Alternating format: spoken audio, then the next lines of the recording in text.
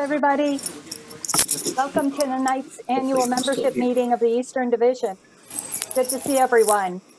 We're still, it's just seven o'clock now. We're still waiting for people to come online. So just be patient with us. I see some people are putting in the chat box where they're from. I see Diane from my home hill at Waterville Valley. I've got Stowe, I've got uh, Double H Ranch, Stratton, Wheeling, West Virginia, Gatlinburg, Tennessee. Had a chance to get down to those spots this year. We're going to talk a little bit about that today. Pat's Peak, we got Blue Mountain. Hello there, Howard. I saw Joan Heaton's on the line. That woman is everywhere. I don't know how she does it. She's just amazing. Cannon, Snowshoe, West Virginia, Gore, Hunter, got a Sugarloaf coming to us, Winter Place, another Waterville Valley, another Stowe and Mount Snow. Oh, we got a Liberty. Little typo in there. Hidden Valley, Cataloochee. How's everybody doing? We're gearing up for a great February vacation, President's holiday. It's going to be fantastic. People are eager to go skiing. They're and skiing and riding, I should say. They're excited to be outside. COVID numbers have maybe calmed down a little bit. And people feel like being outdoors is the place to be. Hello there, Dan Early. Good to see you. Dan was one of our award winners at the Pro Jam event. He won the Muller Award. Uh, he and his wife were, were joint winners of that. So congratulations to them. Thanks. Hey, Charlie, what's up, Chuck? Charlie Wheeler and Michelle from Waterville Valley. Thank you very much to everybody who's joining us. Hey, Kathy. Um, Laura Began has her hand up. Maybe she has a quick question before we start. Awesome. Hi, how are you? Excellent, Laura. How you doing? Great. I was just curious of uh, the schedule, if you're ever going to be at Sunday River this season at all. I am hoping to, but I'm not. I'm not positive yet. But uh, okay, I wanted to take care of um, some of the bigger, like longer stretches that needed to be like a week long trip. Sunday River is the sort of place I can get to in a day. Oh, And cool. so I want to look at the schedule and see, you know, if there's some events coming up there because I like to kind of coincide my trips with events that are going on. And so I know typically Sunday River has some exams in later March, and that might be a great time to stop over. Okay, great. Thank you. as we got people joining on, uh, one of the things that you'll see coming out in uh, during the February week, we're going to do a, a contest, a social media contest, and we're going to ask you. I'll give you a sample of it when we put the contest out there, but I'm going to ask you to hold up a sign, take a picture. The sign's going to say "Go with the pro at" and your resort. And the, the resort that gets the most number of pictures posted up with that saying on it will be the next place that I'm going to go on my listening tour. So, um, or maybe not necessarily the next, but they will definitely be on the list for this season. So that should be a fun contest. So keep your eyes open for that in social media if you're looking for me to make a trip to your neck of the woods. Cool. Excellent. Well, it's almost five past, so I think we should go ahead and get started. And uh, I've got some support with me tonight. I've got Don Harenga, who is the Director of Education and Programs, joining me, and also Karen Harenga, who is the Director of Member Services and Communications. And both of them are going to be able to help me out when it gets to the question and answer portion of tonight. And they're also going to be keeping an eye on the chat box. If you've got questions before we get to that portion, you can put them in there. Or they're also going to be looking to make sure we get people invited into the session. So if you don't know who I am, I'm Kathy Brennan. I'm the new CEO of the Eastern Division of the Professional Ski Instructor Association and the American Association of Snowboard Instructors. And I've been in the job now since October 4th, and it has been a wild and wonderful ride at this point. I've really enjoyed it, and I wanted to take a little bit of time tonight in our annual membership meeting. I wanted to share with you some of the things that I've learned in the in the four months basically that I've been on the job when I've been out on my listening tour. Want to share with you how how things are going with the organization, and and then I want to take some time to open up the floor so that you guys can answer any questions that you might have. I know there's some things going on. We've got a new assessment process and the unified assessment form. And so there might be questions associated with that or anything else that we might be able to help you with. So um, to kick things off, I've got a little bit of a presentation that I'm going to share with you. So let me just share my screen here. So some of you might have heard this before, but when I applied for the job, one of the things that I did is I put together my vision of what I'd like to see the organization move toward. And it, that vision has three parts. The first part of that vision is that I want members, you guys, to want to choose to participate in more educational opportunities, not because you have to, because it's your mandatory re up, but because you want to, because it's an amazing educational experience. The second piece of my vision is I want all instructors, whether they're a member or a non member, to want to feel like they're part of our community, to want to look at this community and say, that's a group I want to belong to. So even if they can't maybe necessarily afford the dues or they can't keep up with the re ups and participate, they still look at this community as a group of people that makes them feel welcome, excited, engaged with being snow sports instructors. And the third part of my vision is, is looking at our industry partners. And our industry partners are the resort operators, they're the National Ski Patrol, they're the race teams out there, they're the ski shops and boot fitters, and, and those people, and wanting to be sure that they understand and value our education and certification programs and how we are all working together to make more people feel like skiing and riding is a thing that they want to do it's not something that they come in and they try it and they check it off and say, okay, bucket list done. They actually decide this is the way they want to spend their winters participating in our wonderful sport. So, realizing as I came into this job that these first couple of months, I was going to have uh, most of the work had been done in terms of setting up all the clinics and everything that was going to be running. And so I thought this was a great opportunity for me to go out and to meet with the different members, meet with the different stakeholders, to first validate if my vision was on track. And then, secondly, figure out different ideas that are going to help me to promote the organization toward this vision. Mm-hmm. So, considering that I have about eight months to sit at my desk and think about it, I wanted to take this first couple of months to go on my great listening tour. And for any of you who might have been following my escapades through Facebook, social media, um, you'll see that I've traveled around quite a bit. I began going way down to our most southern resorts, at starting at Cataloochee, Ober-Gatlinburg Beech and Sugar, Winter Place, up to Seven Springs, over to Blue and back home. And then there was a second trip where I went back down south, where I went to um, Timberline, Canaan, Massanutten, Wintergreen, Snowshoe, uh, Wisp on the way home. I've also been up to a couple of places in the Northeast where I'm from Waterville, Cannon, Loon, Stowe, Killington, um, uh, Mount Snow. And what my goal during all of these meetings is to meet with different stakeholders, people who are willing to talk to me. In some cases, I've had the opportunity to talk to the resort owners and the presidents. In other cases, I've just gone out on the hill with just a couple of the people from the snow sports staff. In other cases, it's been a variety of people from the adaptive program to the regular ski school and chances to talk to supervisors, directors, resort operators along the way. The goal is to talk to all of them to gather information. And what I told everybody when I was out there is I there are no bad ideas. I can't guarantee that I can do anything about it, or that it might not take me five years in order to accomplish some of these goals or, or more. But there are no bad ideas. I'm looking for how can we as an organization increase our value to you as a member, to the guests that you're teaching, to the resorts that you're working for, and the industry as a whole.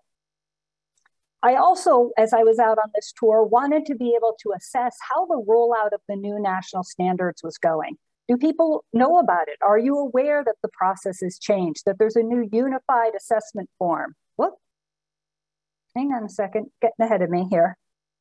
Uh, I'll just leave it right here. So um, the, the other things that I wanted to do on this listening tour is I also wanted to, um, I, I, mentioned that I wanted to talk to those different stakeholders. I wanted to get information. I wanted to find out about our national standards and how that's going. And I also wanted to talk to people and find out how do you hear about us? What what channels are you listening to? Is it the um, Are you are you getting our new, uh, Snow Pro newsletter? Are you listening to us on Facebook or Instagram? Are you using our website? Is it the the uh, is it email blast that you're looking at? So one of the things that I discovered, and you'll see that in a second, is that it's all of the above. And so we need to make sure that we're getting our message out and communicating with you. As, as you can see in some of these different pictures that I captured on my tour, one of the things that was really important to me as I traveled around was to be sure that I connected with all the different disciplines within our organization. I sought to align with events that were being hosted at resorts. So it might have been a snowboard event or a tele event, or I tried to get an adaptive event at, at Wintergreen, and unfortunately it was canceled. But I have connected with some of our adaptive instructors um, at Wintergreen, but also when I was up at Moon Mountain, we spent some time with them there. And so it was really important with, for me to be able to reach out to those different disciplines to make sure that we're everything is equitable. We're treating everyone in the same way. Everyone is getting the same amount of value from their participation in the organization. I also wanted to talk to former members or people that were non-members. Why have they left the organization? Why aren't they interested in joining? To find out what it is we need to do to encourage them to participate. So basically, um, going out and meeting with all of these different groups to figure out what we can do to increase our value. And some of the key takeaways that I took from that process is obviously I heard that the cost is a factor.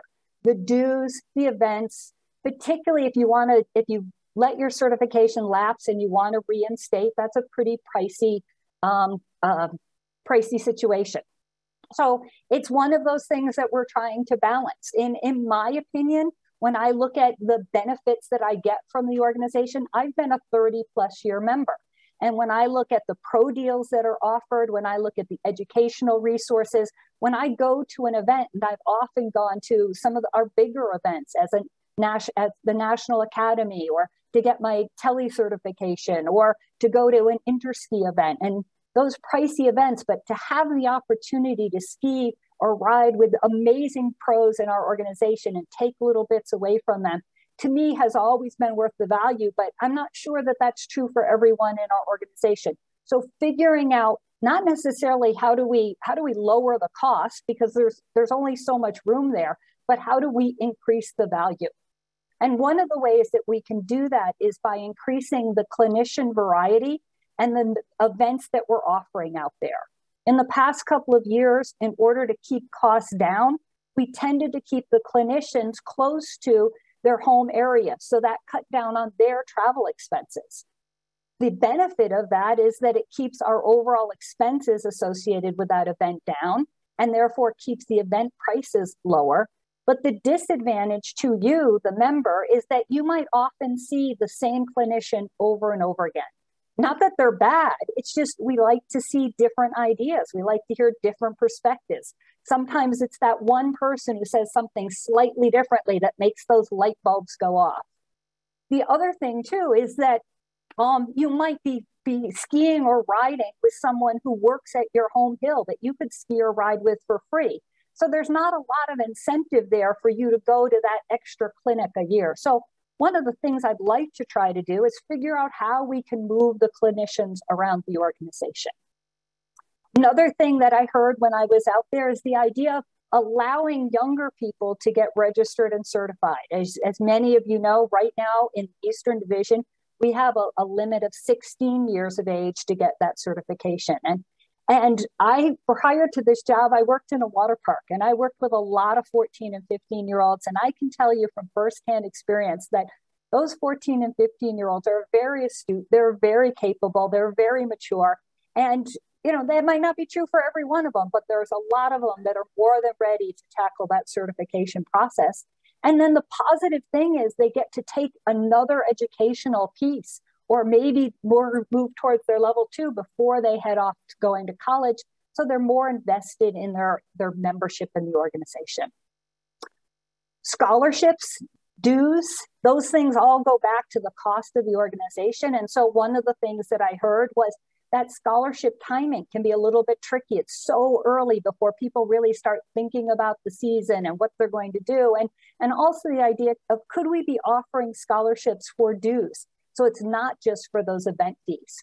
In order to be able to do that, we need to be raising more money for our education foundation, but that's something that we're going to be focusing on and, and trying to do over the next couple of years so that we can support more members in their membership and event participation. One of the other challenges that we heard is about the adaptive certification.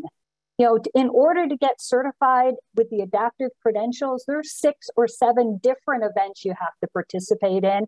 And oftentimes as an adaptive instructor, you're a volunteer. And so that becomes a very pricey proposition. So the adaptive steering committee right now is working on some ideas to see if there's ways that we can make it easier to accomplish. Lots of times those events get canceled because there's not enough participation, which further complicates it. So I just want you to know that we've heard the challenges there. We appreciate the effort that you're putting in and your volunteerism, and we want to try to figure out ways to support you to be successful in getting those higher levels of certification. Always an ongoing issue is the feedback on our assessment forms. If any of you have participated in assessments this year, you know that we have a new online form this form was designed by leadership from every discipline across this entire country. So this is not a form particular to us in the Eastern Division. It's being used everywhere across this country, which is fantastic. This is the first time that that has ever happened. And it's going to bring a lot of consistency and unification in our organization across the country. The challenge is there's a lot of criteria on there, and our staff, as well as you, I'm sure, are trying to get used to. All right, how do I show that I can do all of these different things? How do I show that I own the learning outcomes that these criteria are associated with? And our clinicians are also trying to figure out how, can I help my participants to be successful in that assessment process. So I fully expect that as we get more accustomed to this new electronic process, we're going to be seeing better feedback. But I've also already talked to the discipline task force leaders here in this division, and we're planning summer activities to continue to work on our feedback writing skills. I mentioned that because of the diversity of our division, when I asked about how do you hear about us? How do you find out what's going on? It ran the full rampant. It went from word of mouth to the printed magazine to Facebook to the website and everything in between. And so we need to be on all of those channels. One of the things I did hear regularly is that people are looking for that event poster back. Now, we stopped doing it two years ago because of COVID. We weren't even sure what was going to be happening for events. Same thing for this year. The other reason we didn't do it this year was because, as you might have noticed, we are constantly adjusting that schedule. We're constantly adding exciting new opportunities for you. You know, get to ride with Tom Vickery or go out with uh, Nate Gardner or get to ski with Emily Lovett are all fantastic opportunities that we don't know about till kind of a couple of weeks before that event. So, what I'm envisioning is still offering a poster for you, but maybe that poster is going to outline the development pathway that you want to go through. Maybe it will highlight some of our premier events and some of the major assessment activities, but then just a reminder to be sure you're looking at the website for those clinics and educational opportunities that might constantly be changing. Speaking of that website, ours is horrible. I totally own that. It's not, eh, I didn't build it, but I get that there's problems with it. And so this summer, another one of our projects is going to be revamping that to make sure that the information is accurate, it's easy to assess, and it helps you to service yourselves when you're when you're trying to answer your own questions.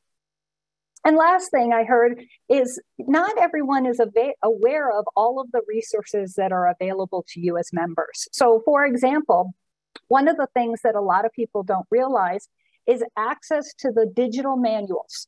Back when I joined the organization, you had to join the organization and then you had to buy your, your technical manual and then the children's manual. Now, when you join, you get access to the primary manual for your discipline, the technical manual. You also get access to the teaching snow sports manual. And brand new this year, you get access to the new Teaching Children Manual, which is a fantastic resource. So you get those all electronically. And if you haven't already, I encourage you to, to go to this website, follow the directions for the digital manual, download the app on your phone, and that will allow you to pull up these different resources, the 32 degrees, the manuals. There's a there's an audio version of the teaching snow sports manual if that works for you. I spend a lot of time in the car, so that helps me. I will warn you in advance, it's not really an audible audio version. And so it can be a little tricky to find your spot. So I recommend you plan ahead and choose the chapters you want to listen to so you can listen to it start to finish. But that's a fantastic resource. You can use the find function on your phone. So if there's a piece of vocabulary, a word you don't know what it is, you can search for it, find it in that manual, open it up. And also all of the, um, not all, but many of those images are links to videos that you could play for your own benefit or even to share with a guest. So definitely be aware that that resource exists, that you get all three of those manuals. This website right here is the picture I'm showing only mentions two of them, but you definitely get all three of them. And so please be sure you check that out. The other thing to point out is this instructor toolkit that's listed here. And this provides you with some fantastic resources if you're not sure how to talk about your certification or what this organization is all about, or if you're looking for some resources like business cards or tip cards, or or you need to do an interview for the media and looking for some guidelines of what to say, or or you want to create some of your own materials and you're looking for the style guide, all of these resources are right here for you to be able to take advantage of as a member. So these both of these things are on the national website at www.thesnowpros.org under membership, and then there, there are links under there. So please be sure that you check both of those out. For those of you that are listening or who like the numbers, um, a couple of highlights to share with you. Um, as of the 11th of this month, our member numbers at 9,520, and we've had 4,090 event registrations. So that might be people that already participated in an event, or it could be people that are registered for an event going later in the season. I expect both of those numbers to go up before we reach the end of the season. But the good news is we're tracking ahead of where we were last year. And compared to our 20 year average, we're looking pretty good. So I think the organization is in great shape. And, and I think these numbers are particularly exciting because I know when I talk to a lot of you out there when I was on my listening tour, many resorts are at about 50% of their optimum staffing. And a lot of you are working really hard because you don't have those extra staff people around. So instead of going out and providing training or being able to supervise and help other people on the staff or getting that training that you're looking for, you're working day in and day out. And that makes it really hard to go, oh, yeah, I, I, I should do my PSIA things as well. And so the fact that our numbers are tracking well tells me that you guys are feeling value in our organization, are excited about it, now that hopefully we're past the, the bad weather we had around Christmas time, we're past that big COVID surge, we're starting to see those numbers tick up higher. And we really look forward to seeing a lot of you at events going forward. Speaking of those events, also shared on this screen is some information about surveys. We have a brand new survey tool that we're using here. And what that allows us to do is uh, it, we can log in on a daily basis and see as people are submitting their surveys online, we can immediately see that information and track how particular clinicians are doing or how individual events are doing or, or what the overall vision is for how we are. And so as you can see in here, overall, we're using a net promoter score. If you don't know what that is, it basically says if you give us a nine or a 10 on the scale, that you're saying that, hey, you would refer a friend to one of our events. You liked it. You're promoting us. If you gave us a six or below on that same scale, then you know you might have had an okay experience but you're really not rushing out to tell your friends and family and everyone you know to come do this with us. So so that affects us our net promoter score negatively. And then the, those seven and eights that really just has no impact. You're kind of just out there in the middle. And so if we look at this and you see that we have that net promoter score of 83 in here, we're doing pretty well there. In fact, I can say of the 100 and um, uh, roughly 170 or so events that we've received surveys on, not necessarily events that we've done, but that we've received a survey on. Over 100 of those, we got a score of 100, which is a perfect score. So I'm very excited that we're doing a good job out there. When we see one of these that doesn't look as good, when we see that negative 100 or uh, any negative number, we can immediately look at that. We can contact the, the member or we can talk to the ed staff person and, and find out what's going on so that we make sure that we're addressing that information right away. So this is a really exciting new tool for us that's going to help us to increase our feedback, help us to do a better job for you. Next piece I wanted to talk about briefly is getting that message out. Um, like I said, we're on all those different channels. One of the best ways we get our message out is quite honestly word of mouth. Somebody in your snow sports school is aware of an event going on or had a fantastic experience or saw something online and they share that and then they share that with someone else and so on and so on and so on. So please, if you if you're excited about something, please share that word out with other people in your school. If you are a social media user, there's a couple of different places you can look for information. There's definitely our Eastern Division Facebook page. We also have two private groups that are really sponsored by our Next Core, which is the, the advisory group that runs for uh, that supports initiatives to help develop members in the 16 to 39 year old age group. Those are both private groups, but if you go on there, you can find it and request to be invited. We'd be more than happy to include you in there. I can tell you that monitoring those groups, they're great questions, great ideas um, that get shared in those groups. So I highly encourage you to check them out.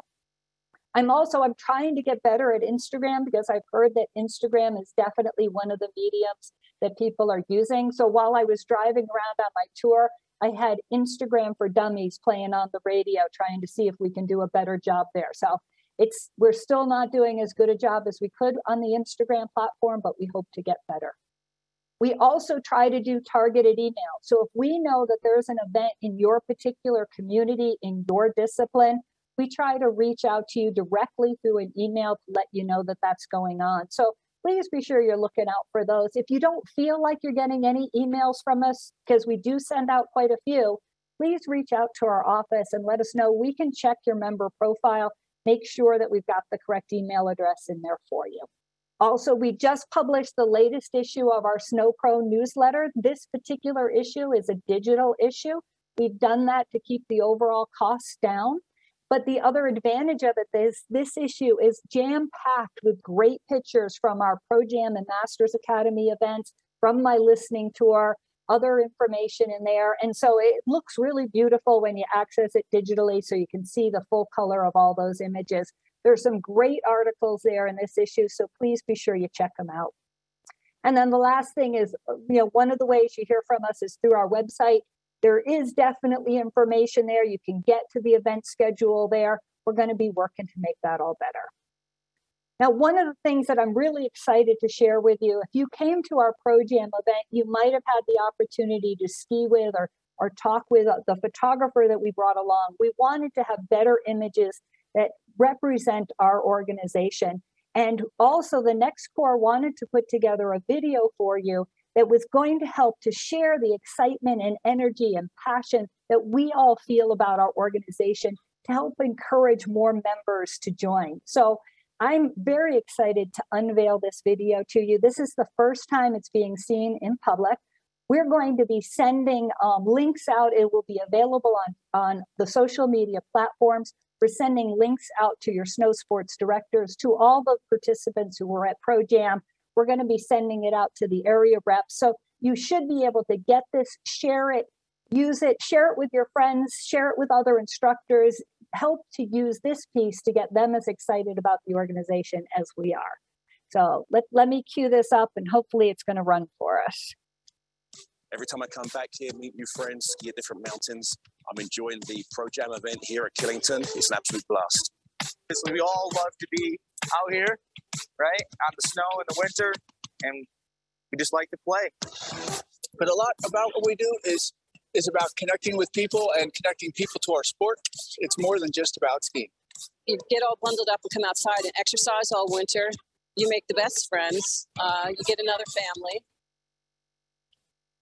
I've made my best friends through this organization. I've made friends all over the East, and it's just something that I've never experienced in anything else I've ever been a part of. I love this organization. It provides an opportunity for us to share the knowledge that we have with the rest of the world. So come join the fun. Start teaching, share the love, join the organization. The more you put into it, the more you'll get out of it. Just be part of this because it's really special. Awesome. I hope that that played all right for all of you out there. Um, I really think that it's well done. If it didn't play that well, we'll get you the link to it and you can check it out. It's uh, published on YouTube. I had it set up to go public at 7:15, so if you search for it, you'll probably find it at this point. So, um, like I said, we're really excited about this piece. Hopefully, it made you as excited about being part of this organization, and you can see how it will inspire other people to join what the for the rest of our agenda here um, what we've got going on is i'd like to open the floor at this point in time for questions and answers. And then when the question and answer piece is done we have a zone one election going on this season. And zone one is our Maine new hampshire and vermont members. And so we have a handful of candidates that are on this call with us and we're going to give them three minutes of time to kind of make their case for why you would want to vote for them if you're able to vote in the Maine New Hampshire or Vermont zone. And so if if at that point in time you're not interested in that election, you're welcome to drop off the call. We won't be we won't be doing anything beyond that last bit. So before we get to that, I want to just go through uh, questions and answers. I'm going to unshare my screen here and I'm gonna I'm gonna put it out there to uh, Karen or Don. Did anyone put any questions in the chat section while I was doing my little presentation there that we need to cover?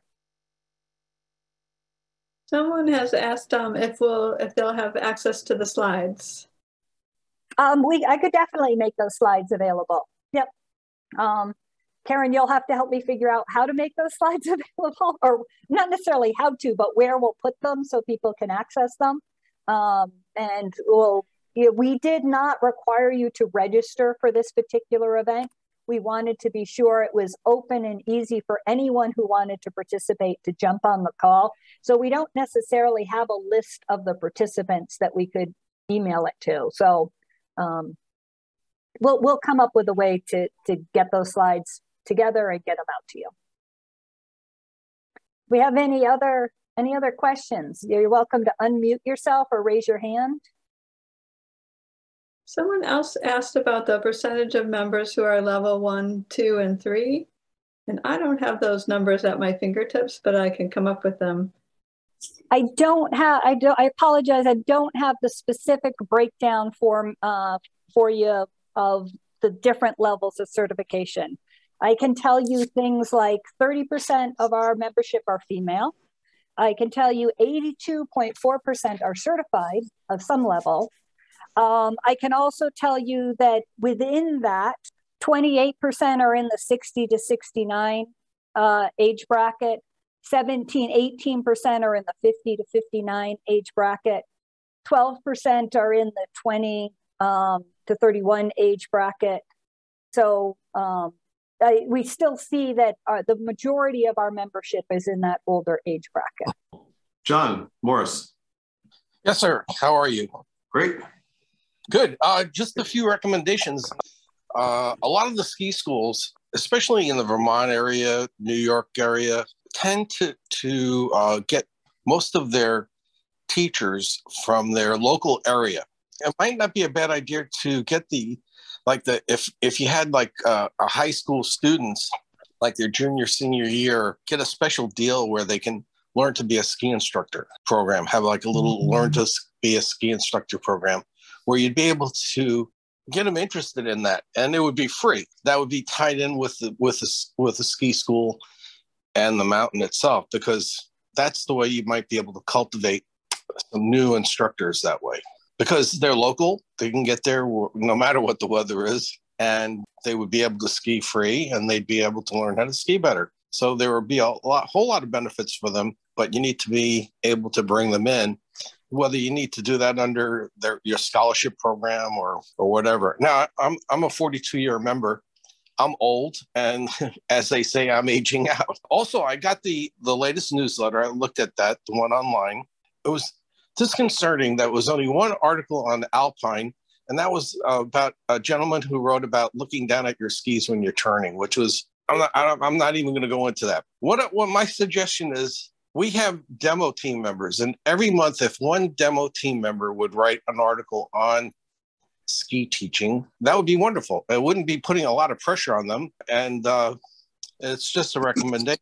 Also, uh, to have um, the uh, demo team do a, a video. This is how you teach a beginner lesson, and this is why we do it this way. The next one is this is an intermediate lesson.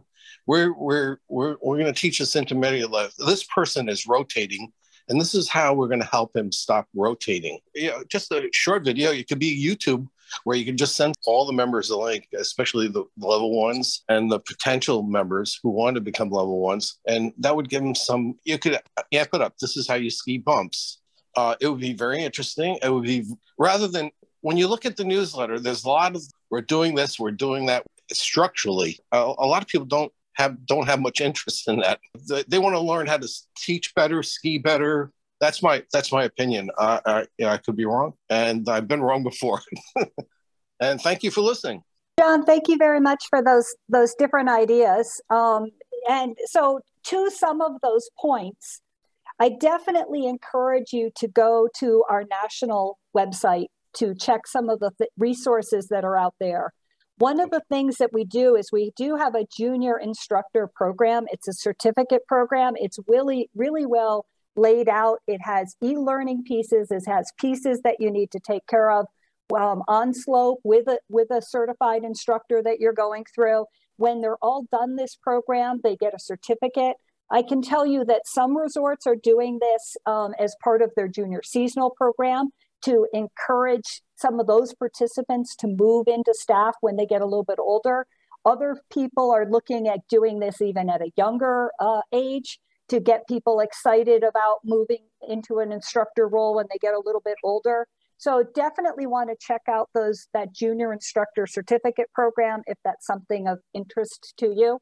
Um, and I, I do understand your point about you know bringing those local schools together definitely think that the resorts are doing that. They're finding ways to bring those people in, but maybe that is something that we should be supporting as well as part of our, our organization.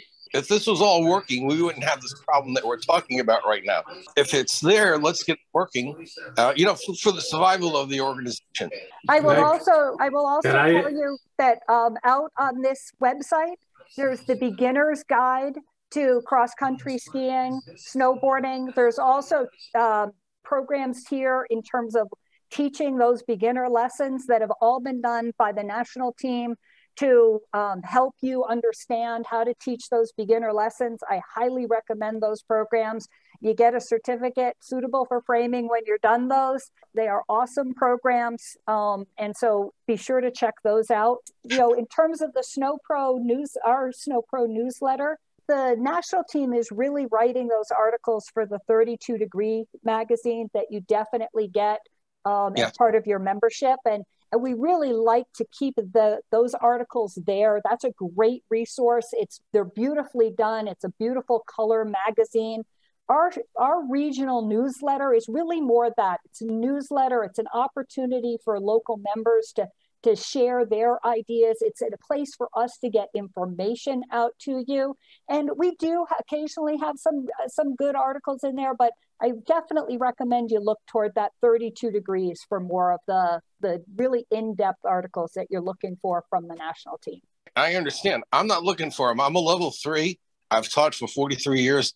I yeah, I'm up to date. My my certification is still up to date. I was talking to help all the beginners you know the level ones the level twos the level threes to make them get better I, will be i'll be 76 years old in april for me you know I, what do i have i have a couple of more years to pay dues and i'll be gone you know what i mean well we so. hope not john but we do we do appreciate those suggestions and hopefully the people who are looking for those resources can look to the national site or, and, or we will definitely consider what we can do there. And, and Can I my- just jump in for a second, Kathy?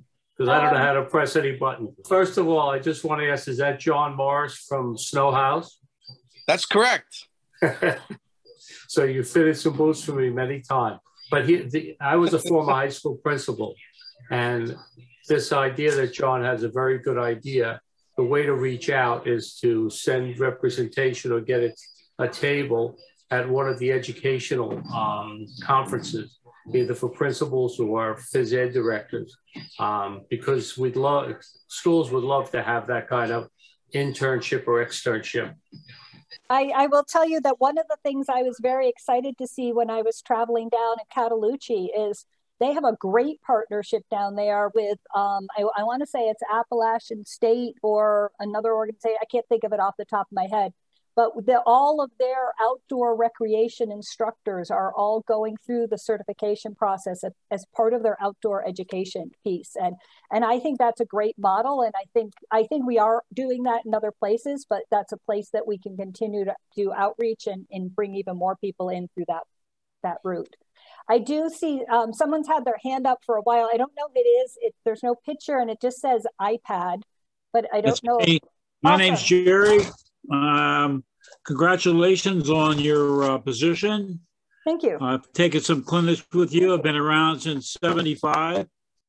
I got I got a few questions. Number one, when uh, Ray Allard and uh, Mike Mendrick were in, we never received any kind of financial report or never had an audit. Why is that? I know we're a not-for-profit organization, but I've never seen in the time that I've been a member any kind of accountability for um, our financial situation. Why is that? I, I can't speak for what they did or why they did it. Um, I can tell you that I do report. In fact, I just had a board meeting last night where I shared financial information. As a 501c, that information is readily accessible if you were to look it up. We are required by the state of New York and just by our own good practices to get audited every year. So uh, we do have audited financial statements. And I can, um, I, I don't know exactly why we're not um, publishing the financial records more beyond that. I would have to do a little bit more research to find out if there's something more beyond what we're already doing. Okay, thank you. I'll look that up. Also, um, in one of the um, things that I read, if a member can't uh, attend an event because of a uh, an injury or some sort of a health issue, why would they have to do a HIPAA, you know, HIPAA laws kind of protect you? Why wouldn't they just be able to call the office and say, hey, listen, I have this kind of condition. I can't attend an event this year. Why does it have to be the doctor's um, authorization with that information? Uh, historically, that's the way we've, we've done it. And I'll have to do some research to figure out if that's something that we need to continue to do. We also do offer lots Okay. of online Um, another- options now. So, uh, so people even with injuries who can't be on snow can take advantage of the online options. So keep keep that in mind as well. I understand that. Uh, I was just wondering about somebody that couldn't attend and needed an excuse.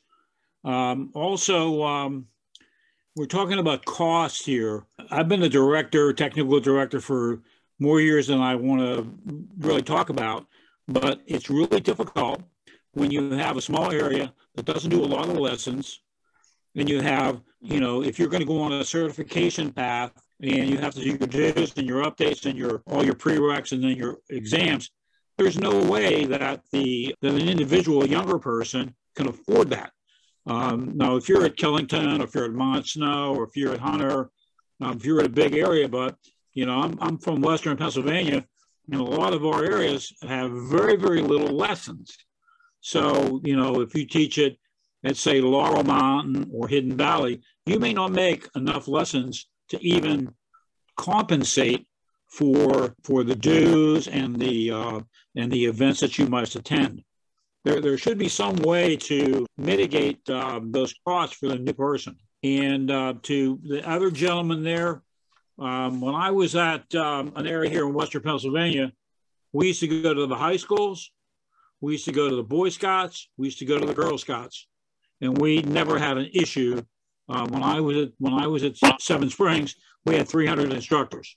So we never had an issue with uh, uh, motivating and inspiring people to come and teach. So uh, those are my uh, those are some of the things. I really appreciate this Zoom meeting. I think it's very very valuable, and I appreciate your efforts. And I uh, thank you for listening to my information and my diatribe. Can I just add something about about that cost? So I have teenagers who have gotten their level ones. Um, actually, I have one that's older now, but it used to be when the kids are in high school or college, there was a reduced price on their membership, and they didn't have to do their updates every two years. It was every four years, which to me was reasonable because obviously we as parents are going to be putting out that money. But for them to pay the full cost and have to do their updates every two years is getting fairly expensive. And it's very hard if they want to stay within the skiing industry, they're going to college, trying to get their degree, but then later on down the road, they're It- still teaching, and Tina, then they want to maybe move on to a level two. In these four years, or however long it is, if they get it at 16, which one of my sons did, it gets very expensive. After he got his level one, all the benefits were taken away for any of the college age or high school kids. I probably would have double thought of him taking this level one. I'm not sure. Is anyone Uh, else you know, having trouble so with the audio It's starting here? to get really expensive. Yeah. Whomever is speaking, Go um, I'm gonna, I'm gonna cut in just because your audio is, is really not coming through well. Um, and so we, we hear the concern. The concern is you've got co- uh, high school, college age students. The dues and the re-up commitments have changed over the years. That's kind of before my time. I do understand what you're saying there. I don't know if Karen or Don or Pete Howard, somebody wants to speak to that. It, it's my understanding, and I, I could be mistaken here, that you know, as a as a professional organization, we're trying to make the requirements as a professional within this organization consistent. And I do understand that people are at different stages in their lives and whatnot, but it's more about the the certification as a professional uh, uh, identity than about where your stage is in life. But like I said, Karen Don, you got something to add there? I, I don't remember exactly um, the reasons behind it, but at one point, not too many years ago, um, uh, it was determined, um, it, you know, with one of the board meetings and Michael Mendrick that um, we should be charging the same amount for everyone for the dues. So if they're if they're in uh, a full membership type situation as opposed to like a, an alumni or something. So um, I'd be happy, you know, if you want to email me, I can look up those records and um, and get back to you. A lot of that came about because of the quarterly auto pay program. Right.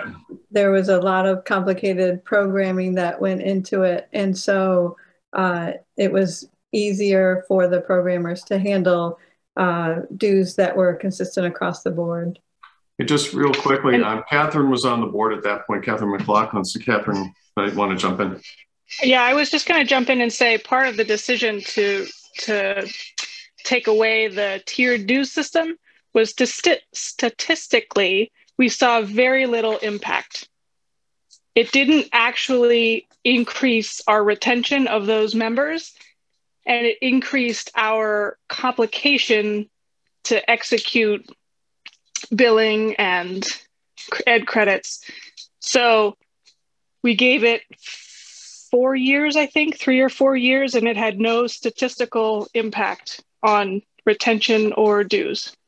So um, definitely we've I've heard this comment when I'm out on the road. Um, as I started off this session by saying it, it may not be something we can take care of right now. It may take a while, but we will definitely look into this further to see if there's ways that we can continue to make this organization viable, no matter what age bracket you're in. Every, everybody has something. And if you're younger, you're off to school. If you're in your 30s, you got the young family. If you're later years, you're retired. So there's there's something for everybody. Um, but trying to figure out how we can embrace and engage and make this organization something that works for you is important to me. And so we'll we'll continue to look at it. Um, I, um, I, see a couple folks have their hand up, um, but we also had some questions in the chat box that uh, came in a while back. So maybe Karen will read a couple of those. Francesca Drake um, asked uh, what we're doing uh, to address the indifference towards membership and certification from young up and coming instructors who don't feel the need for our validation when their mountain provides little to no certification incentives and the high costs of memberships and events and exams? Is, I'm, I'm not sure if it's about are we trying to change it so that they don't have indifference or are we trying to change it so that the schools that they're working for care more about it I, I, can tell you a couple of things that we're doing. We saw the video earlier tonight that we're trying to show people of all ages that are excited about being part of this organization and have value we are doing um, the directors within our division have been notified about a futures camp that we're doing which is intended to, it's a, a free program for people who are up and coming um, get a chance. If they're if they've got ed staff visions in their future we see them as future leaders. They're being nominated to participate in this event. Um, only 12 people are going to get selected from the east coast to participate in that but that's one of the ways that we're trying to inspire our future leaders. Not sure that that answered your question, but I'm not sure I understood the question well either. Maybe you could try it one more time. Yeah, and, so just just like uh, to give you an example, our uh, I had a conversation with our general manager. Part of part of that was the fact that like it's not at all financially incentivized to get a certification. Um, and I just like it seems like the mountain doesn't care, and uh, that's that's like it's weird that we're saying that being a member of PSIA is important and valuable for becoming a ski instructor and stuff when it's when like the mountain itself doesn't really care to have certified instructors. Like i don't it seems like there's a disconnect there I, I, I, understand your question there. So you, you are correct. There are definitely some mountains um, in the country in our division that um, find no value in certification. Uh, there are other mountains in our division that really value it, um, that pay people's dues, that pay them to go to events, that give regular scholarships. And, and so one of the things that I'm trying to do as part of my outreach is I'm trying to talk to GMs and owners um, about the what we're doing as an organization. And as you might have seen in the last couple of years, the promotion of the teaching and people skills. One of the things that we know from the directors and the resort owners that they don't really care about our skiing and riding skills. What they care about is our ability to connect with their guest and that all comes from those teaching and people skills. And so now, as an organization, as we're able to focus on those, we're able to provide feedback, we're able to provide our performance guides that give you ideas on how to be better in those areas. We create more of a connection with the guest. The guest wants to come back to the hill. Now we are, are seem more valuable um, out on the hill to the resort operators and owners. So hopefully as that message gets out there i can tell you a couple of the different i spoke with the president at killington i spoke with the owner at ober gatlinburg i spoke with the gm at wisp and and others. Um, they recognize the value of these teaching and people skills. And so i think as they start to spread that word throughout their community maybe we will see uh, more resorts maybe like yours that are deciding it's valuable um, how about if we take a couple of these hands up? I see John S. You've had your hand up for a while. Yeah, thank you. Uh, Kathy, first of all, I'm John Schwantes uh, out of North Carolina. Um, John? uh, been certified for 52 years, and many of them with Don at Greek Peak, and then up at uh, Dry Hill in Watertown, New York, and now I'm down here in North Carolina, teaching at Appalachian uh, Ski Mountain. Awesome. I just want to input that there is a huge market down here. The the crowds that come up from the southern states, South Carolina, Georgia, Florida, et cetera, are enormous. So I know you guys work with Beech Mountain a lot, and you men- mentioned Cataloochee out west of uh, Asheville.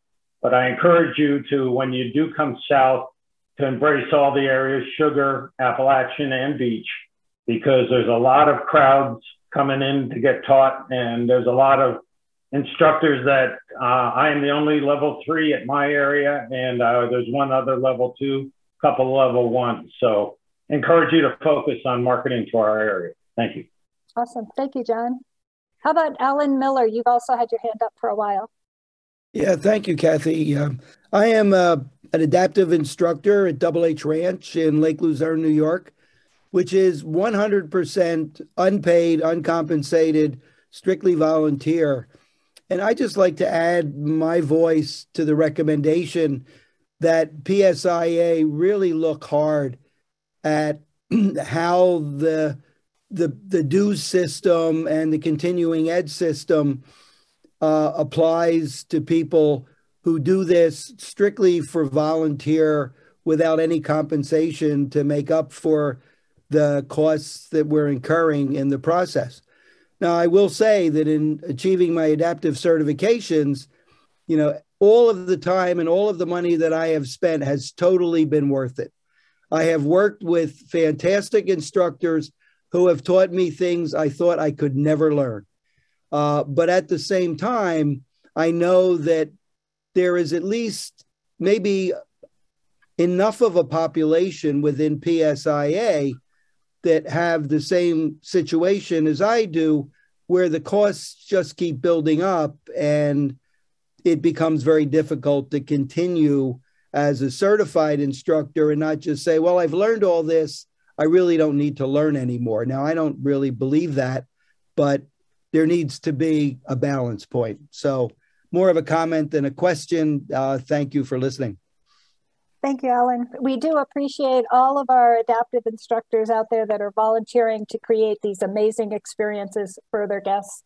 We know that when an adaptive athlete comes to a resort, they bring a, a, village with them, and that helps all of us. And so it's an important part of our market that we we want to be sure we're recognizing and taking care of. So thank you.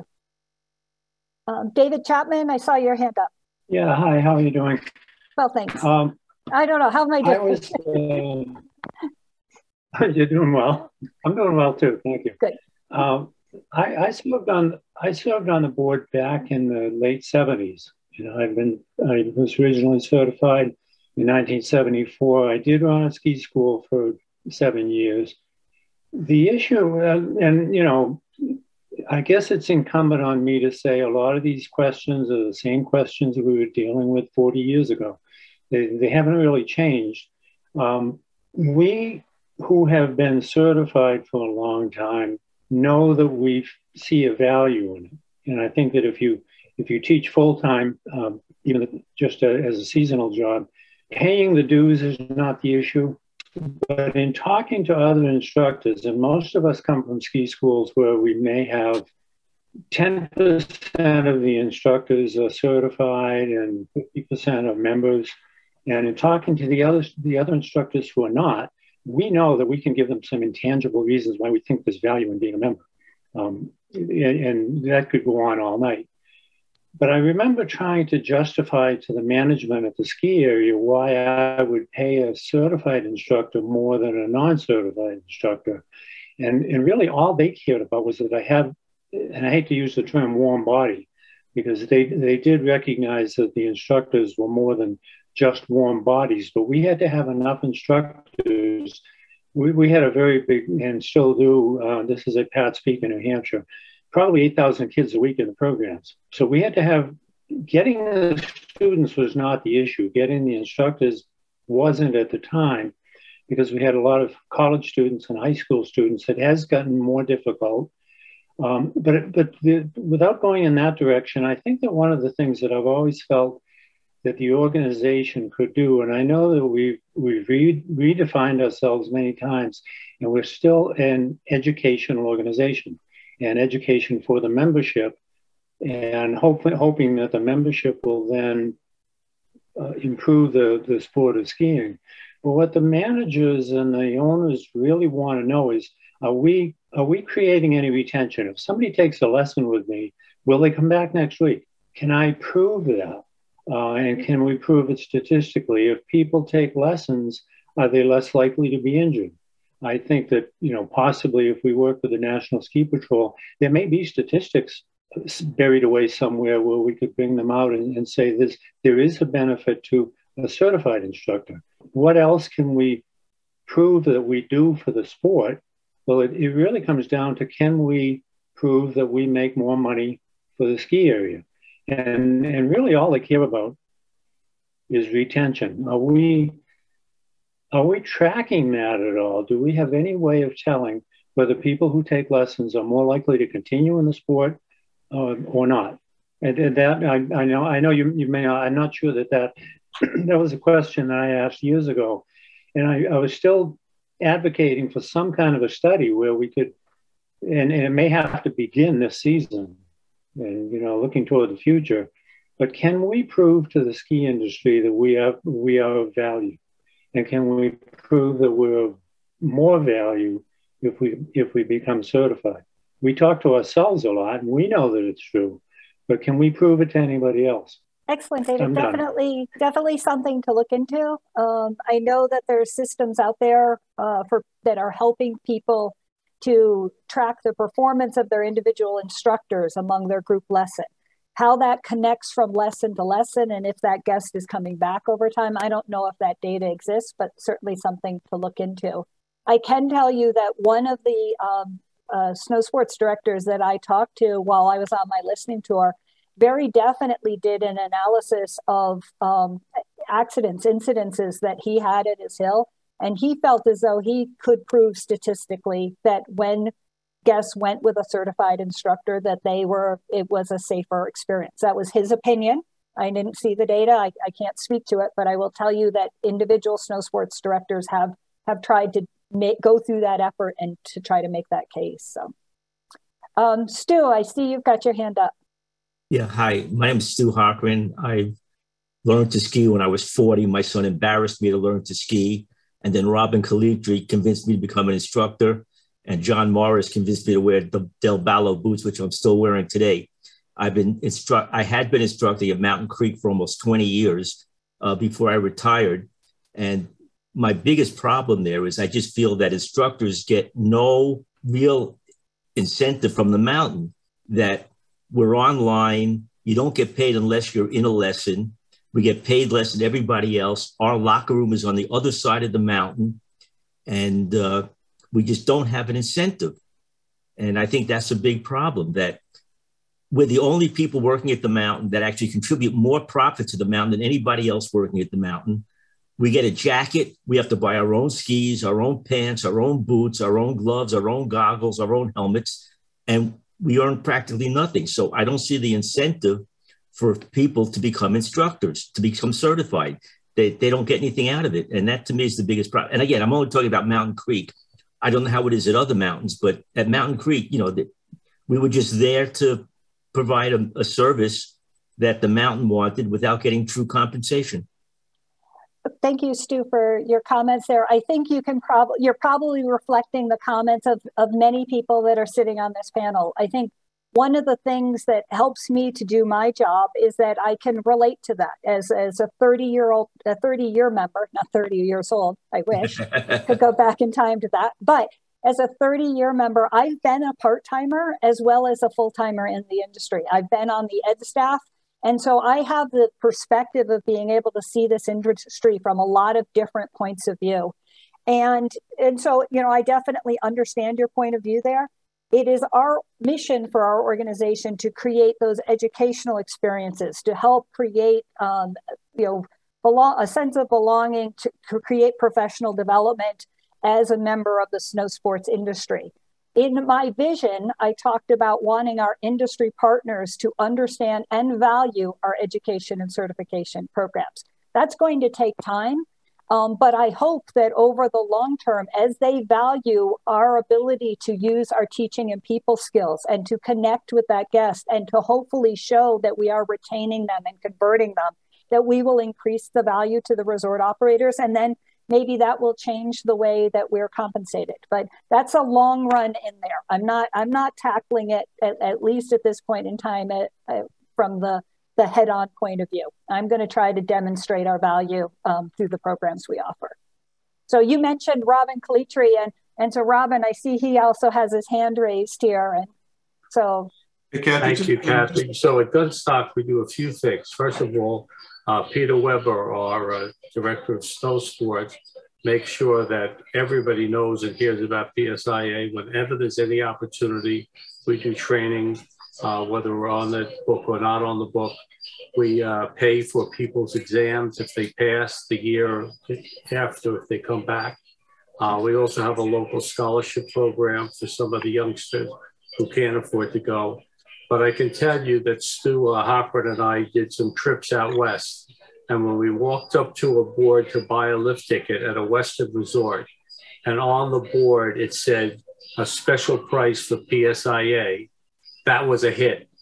And that's something that we should be able to do in the East because whether they value us in putting us out to teach, they should value the fact that PSIA does have a service and I would say send out a hard nosed negotiator with some of the mountains. So instead of worrying about this reciprocal letter stuff, you get a guarantee of a discount, symbolic or not, for your lift ticket price at any mountains of the east. And that should be doable in the short term. Um, and Kathy, you you're doing a great job.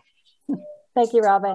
I saw Pete Howard had his hand up. I'm going to ask him to to chime in here for a minute. Uh, to Pete Howard, our chairman of our board, everybody, if you don't know. Hi, folks. Uh, how are you tonight? It's great to listen to all your thoughts. Um, I just wanted to share uh, one thought that actually we have two forms of membership.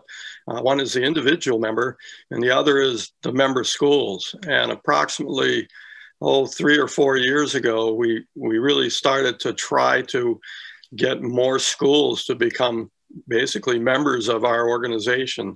And we now have over 100 member schools in the East. And um, by providing services to them that we hope in time are going to become indispensable, uh, there will be greater recognition of uh, the individual members who happen to be part of these schools.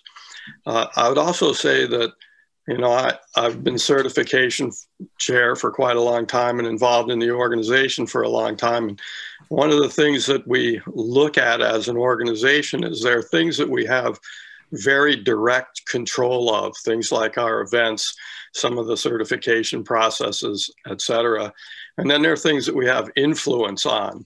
So we can influence to a degree, you know, the relationship between the organization and the schools in the East. And then there's some things that we, we have no control over.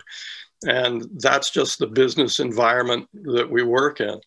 And um, all of us as people make choices in our life about what we're going to spend money on and what we're going to do with our lives.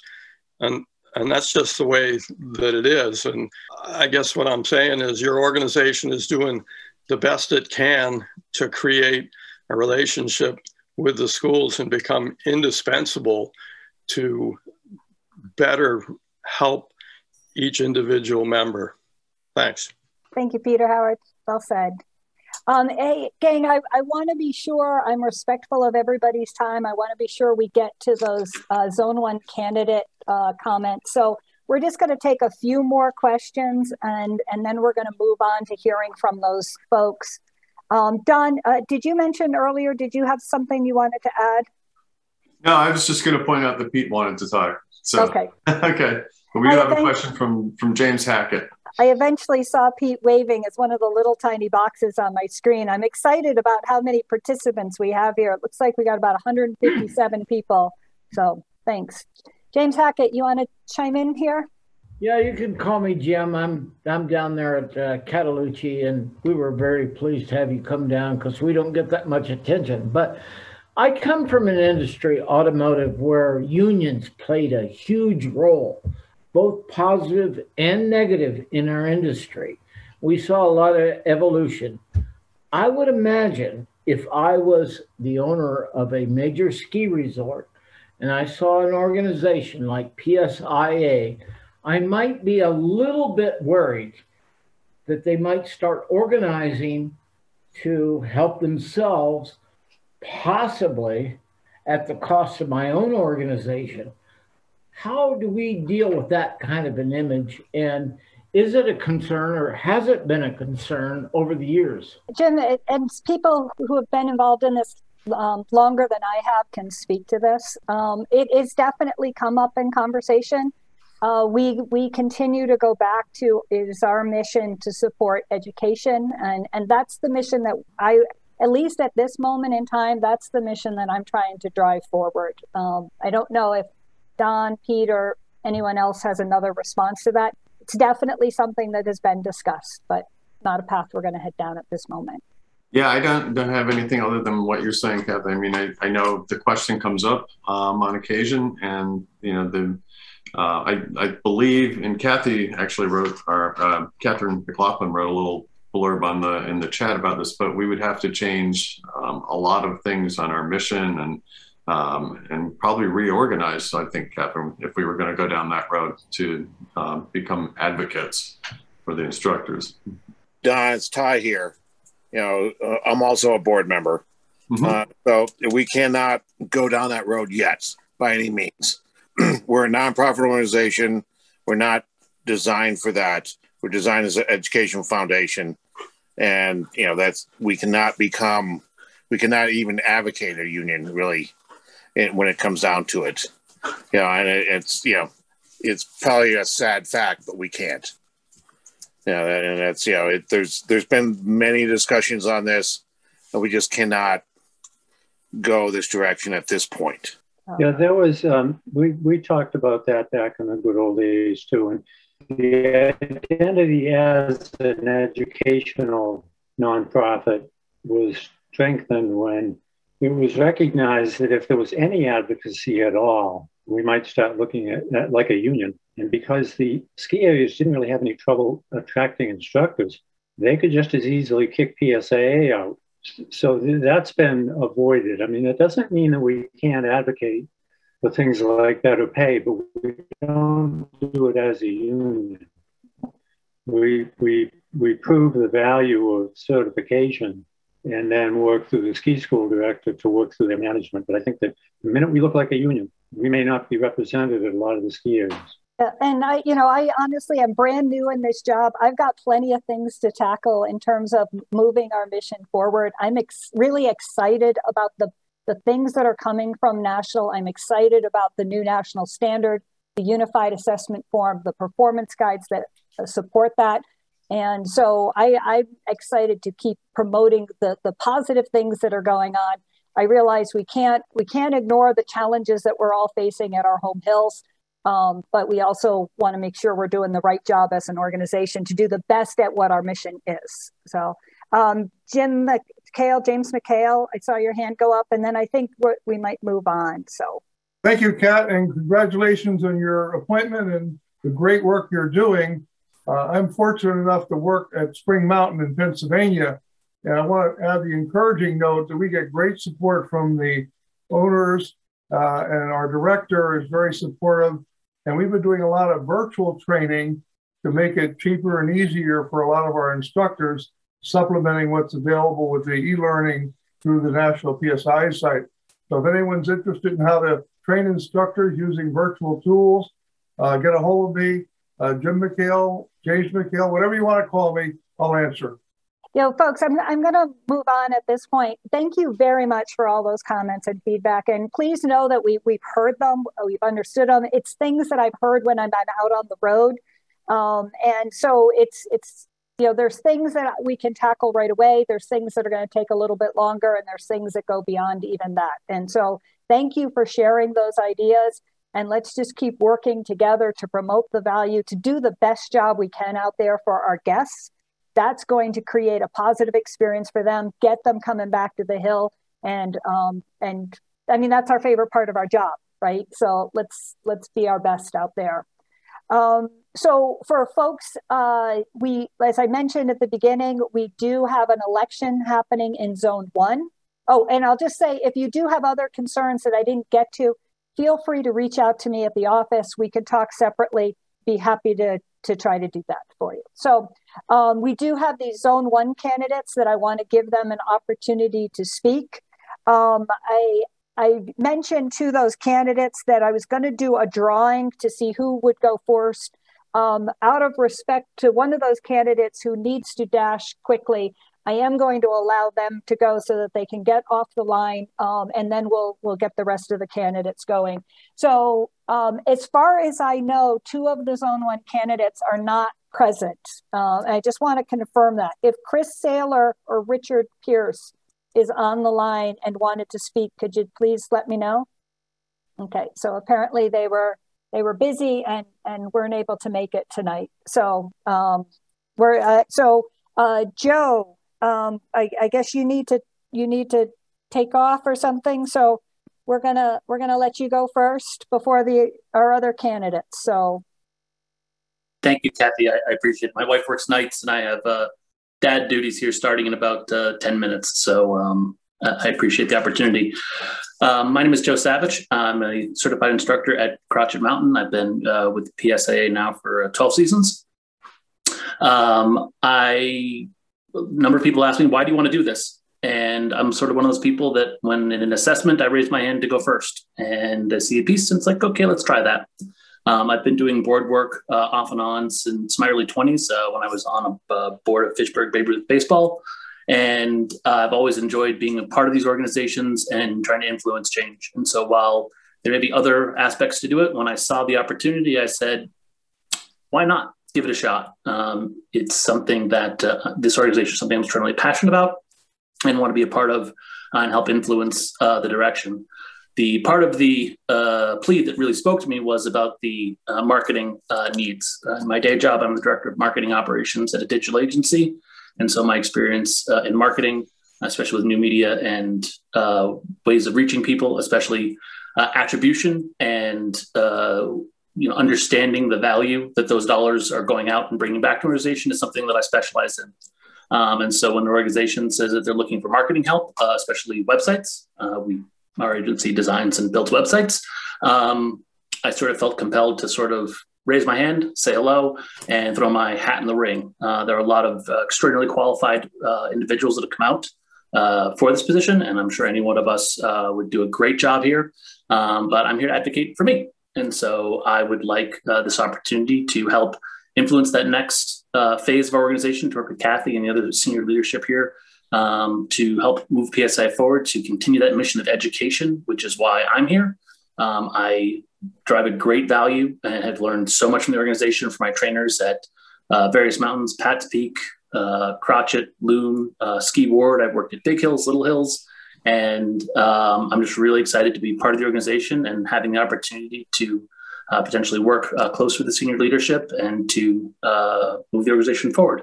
And hopefully, I'm under my three minutes because everyone's been on and very patient. And so I appreciate the opportunity to get in front of everyone and um, look forward to, to what happens next. Awesome. Thank you very much, Joe, for taking that moment. And thank you to the other candidates for letting me let Joe go first so that he could hop out and take care of the take care of the family. So um, so I have a very sophisticated way of determining who goes next. And so our remaining names are in the hat here. And the name that came up here is Tara, Tara Adams. Are you still on the line? I saw you earlier. Hi, Kathy. Yeah, I am. Hi, Tara. Um, thanks, everybody, for giving us the opportunity to, to talk for a couple of minutes and to introduce ourselves. Um, again, my name is Tara Adams. I'm the program director for the adaptive sports at Mount Snow. I'm also a trainer at Mount Snow uh, Snow Sports School. And um, I'm I have AASI level two and adaptive level two, both snowboard, alpine, um, CS2, and FS1, Tele one as well. One of the reasons why I decided to be part of this board is um, I love the community that we have, not just here, but as a national organization, as a whole professional organization between PSIA and AASI. And I was excited to be able to serve the membership. Um, I think that the biggest um, benefit that the membership or that the organization offers is the membership and the community that we have. Um, and I think that that needs to be accessible to everybody, not just, um, you know, the people that work full time, not just the people that work at big resorts, but really to everybody, not just the people that grew up um, skiing and riding. I did not grow up in a sports family. I started in my 20s and I just found a home here and I want, you know, to share that with everybody. And I think that a big part of that is we need to make this accessible for culture um, as a culture of an organization that that is a big part of inviting people in. Uh, we need to make it accessible to, in value. So not just the cost of dues, but our cost, um, cost of the value ratio, like whatever I pay in, I'm actually getting something out. Um, and the education, I think that we need to make education accessible and relevant to everybody. And I think that that is a big part of why I've gone and, and certified across all the disciplines. I really wanted to meet people. I wanted to see how the education worked as a whole system, not just uh, one little corner of the discipline. And um, I manage, the ski school that I manage is 100% volunteer. We have three staff members, our executive director, program director, and a winter coordinator. Um, so I understand what it is like to work with people that do this for free, and I value that a lot. Um, I worked, I've worked for large ski schools. I spent several years at Park City Resort, um, working there and within their adaptive program and at at the regular ski school. I started my career at Mammoth, so I, I've seen kind of all the different corners of the industry, and I really think that I can give um, some perspective to that. Um, I believe that we do need to grow from our younger professionals and bring them into the organization. Grow it up um, i am a mom. I have an 11 year old he told me a couple weeks ago that he wants to be an instructor. And that is one of the things that i'm most proud of. Um, i'm excited to have him in our in our culture in our community as well. So um, again um, i feel i have a lot to add um, I really want to serve our community, our friends, and our family. So thank you. Thank you very much, Tara. Uh, appreciate those comments. You know, one one thing that Tara said reminded me of something that I'm looking or I'm currently working on is to put together a proposal for an online learning program that will help us to teach snow sports in different languages and to understand different cultural issues that we have out there. And it's not about teaching somebody how to to flex the ankle or to make a wedge or to do a toe side turn. It's about hello, my name is, thank you, welcome, do this, watch this, and understanding gestures and vocabulary that we might use that, that might be um, off putting to some people of different cultures and backgrounds. So um, I'm, I think that a program like that would add a lot of value to us as we're out working and trying to bring more diversity into our sport. So anyway, moving right along, we got two names left here. And so pick a name, any name. Charlie.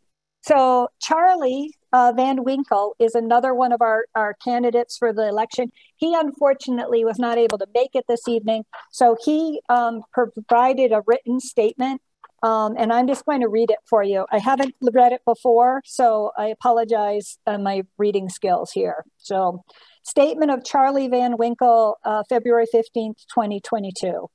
Apologies for not being able to deliver this address in person, but we booked a trip to Park City in November, and I'm presently in an airplane heading back east. Thanks to Kathy for reading this on my behalf. As a longtime member of the organization, I'm interested in maintaining its success and wanted to offer my candidacy to help steer leadership in such a way that promotes growth of the membership in new and different directions. I think the retention of certified individuals is a key component towards sustainable success and provides a great foundation. As I indicated in my candidate statement, I am excited about the restructuring of the board, and I see this as a positive opportunity to effect meaningful changes.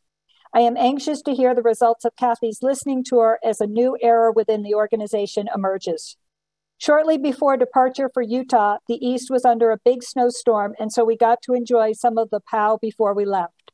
I would love to tell you that we were continuing the powder experience out west, but the talking heads on the television news this morning said Utah was experiencing the driest winter, meaning no snow, in 1200 years.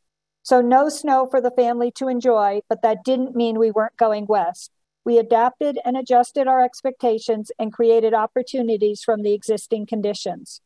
The pandemic over the last two winters has stressed the ski instruction business model in, has stressed the ski instruction business model in ways never expected or contemplated. There have been some positive outcomes, such as lower instructor student ratios as implemented on my mountain. Conversely, the ability to find enough qualified personnel challenges ski school management to adhere to the lower ratios. The end message is that we need to adapt to the market, attract and retain individuals who are passionate about our sport, and can help inspire the next generation of skiers and riders. It may take a while to get back to business as usual, or we might use this opportunity to define what the new normal looks like. Either way, I'm excited to be a part of it. As a candidate for my district representative, I have no preconceived notions about what direction it is best, only that I want, would represent membership interest within the region to the best of my ability. I would appreciate your vote in this election and would invite anyone with questions regarding my candidacy to email me at charlievanwinkle at outlook.com and I'll endeavor to respond. Thank you for your interest, Charlie Van Winkle. Thank you, Charlie, for sharing that statement. So, and so that leaves, last but not least, we've got Brandon Bach. Brandon, are you on the line here somewhere? Yes, I am. Awesome. Thank you, Brandon. Cool. So yeah, I'm Brandon. Um, this is my ninth season now with the organization. I'm currently a resident of Vermont and work out of Okemo. Um, if the hat didn't give it away, and hopefully I don't lose too many votes by wearing this hat, um, I'm originally from Pittsburgh, PA, actually, and I worked out of Hidden Valley in Seven Springs. um, and during my tenure there, um, I attained my Alpine Level 3, CS2, FS1, and Adaptive Level 1. And I've worked in everything from being a kids program instructor to management to uh, being a staff trainer to even on a very desperate weekend chopping vegetables in the kitchen. And so I've I've been kind of all over the spectrum, you know, with this industry, um, both in terms of my roles and working out of bigger resorts and working at smaller resorts. Um, and I, I feel strongly that my diverse background um, will allow me to not only be a representative of Zone One, um, but as somebody who can kind of be a, a representative of the entire Eastern Division. And as a younger member of the organization at 29, um, who has you know gone through this development process, uh, that's that's really brought about my passion for growing our youth and other minority demographics in the organization. Um, I believe that we as an organization need to uh, either look at these demographics as more than just something that we need to grow, but as something we need to invest in. And it's it's most certainly an issue of keeping our organization and industry healthy as our uh, you know as our core membership gets older. Um, however the i think the super cool thing to think about is if we invest more in youth and get them invested in the development process early you know i see it as more of an opportunity to push our entire industry forward and raise you know an already pretty high bar our organization, our organization and our education staff has set and push it even higher. You know, think about that that 14 year old Kathy uh, talked about earlier that can now go for their level one and is maybe now thinking about a career in this industry and you know maybe even has their eyes now set on the ed staff you know how high is that instructor's development cap and potential right? And while you know i'm obviously i'm i'm very passionate about our younger demographics i'm most certainly not forgetting about our current core. And I, you know after having some discussions with some of our longer time members and you know highly experienced members I, have i've found that through our discussions that they they they're not they're often not just concerned with the value that the psi provides for them but they also want to feel valued by the organization. And you know they bring an immense amount of experience education and passion for the organization. And you know while they maybe aren't looking towards positions like dev team or things like that anymore they want to contribute and they want to get new members hooked.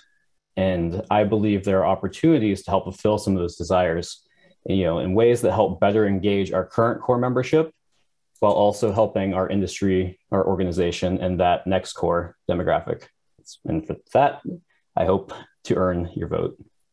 Thank you guys. Awesome. Thank you very much, Brandon. All right. So um, before we wrap up, I just want to make a call out to any of the board members that are on the line here. Is there anything in addition that you would like to share with our membership? Awesome. Good. And just to uh, Karen or Don, were there were there any burning questions or comments that we can't leave the table and not have them addressed? I think most of the things in the comments have been addressed. Okay.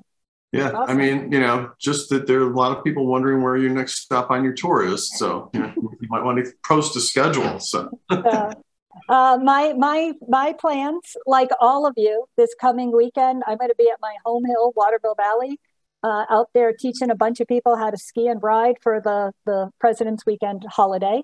Um, and beyond that, uh, I will be headed up to Stowe because we have our Women's Summit.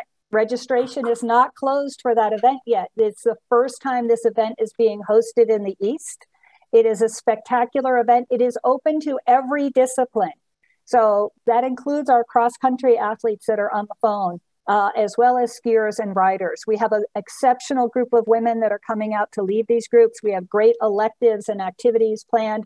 It is going to be a spectacular event. If you have not registered yet, I believe there's still a few openings. Please go ahead and get signed up um, before the end of the week for that. So that's where I will be. And then after that, we actually are going to be doing a selection for our future examiners on the Alpine Squad, our new ACE team members, Advanced Children's Educators, and new members for the development team. And that's going to be some, if you're looking to see some exciting skiing going on, be up at Stowe the end of that week, and uh, there should be some good shows. Uh, so that's what's currently on my agenda. Like I said at the opening, if you weren't on the line, I am going to be doing a social media contest to find out where Kathy B is going to go next. And so be looking out for information on that. Some of those bigger trips down south, they were a big trip. It, it, so I tried to make the most of my time down there. Now that um, I've covered a lot of that territory, some of the eastern areas are easier for me to get to in a day. I just went to Butternut um, on Monday afternoon for a, a regional meeting. So it was easy for me to pop over there and connect. So I hope to be doing more of that. And I also am going to be sending out some of the staff to be doing that same outreach as well. So hopefully it's not me. Um, one of the things you've hopefully seen with me as your new CEO is that getting out there, talking to you, making myself available to hear the comments. I might not be able to do anything about it, but I'm here to listen and to figure out what we can do to make this the best possible organization for all of you. So thank you very much for participating tonight. It is important to all of us that we have our voices heard and we get a chance to hear what's going on. And I look forward to seeing you out on there on the hill. Have a safe and successful holiday week. Thanks, guys.